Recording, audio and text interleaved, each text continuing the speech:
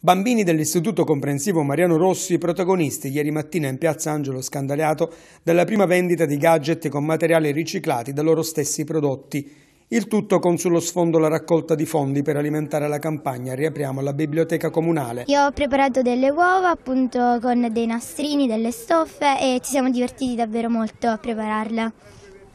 Io ho preparato un vasetto eh, che si può utilizzare sia come posacenere, come salvadenaio, e poi cala una calamita eh, che è a forma di emoji, quindi di faccina, che poi viene utilizzata come calamita e infine abbiamo fatto delle uova che, vengono, che abbiamo rivestito con la carta crespa e che poi abbiamo decorato con dei brillantini e con delle varie stoffe.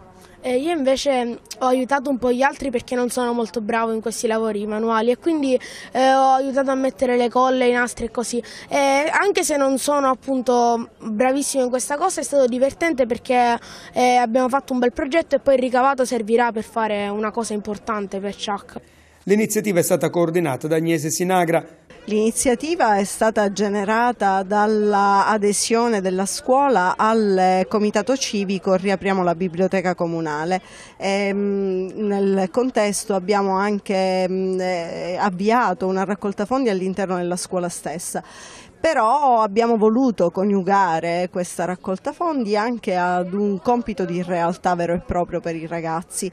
E, ehm, hanno prodotto tutta una serie di gadget che vanno appunto dalla trasformazione di vasetti in vetro eh, alla creazione proprio di uova decorative eh, per poter eh, raggiungere un obiettivo molto più alto che è quello di sensibilizzare appunto i ragazzi all'approccio al bene comune, cioè alla salvaguardia salvaguardia al bene comune. Quindi avendo prodotto tutti questi gadget i ragazzi li metteranno in vendita in questa mattinata e il ricavato sarà da loro stessi consegnato al eh, comitato civico Riapriamo la biblioteca comunale.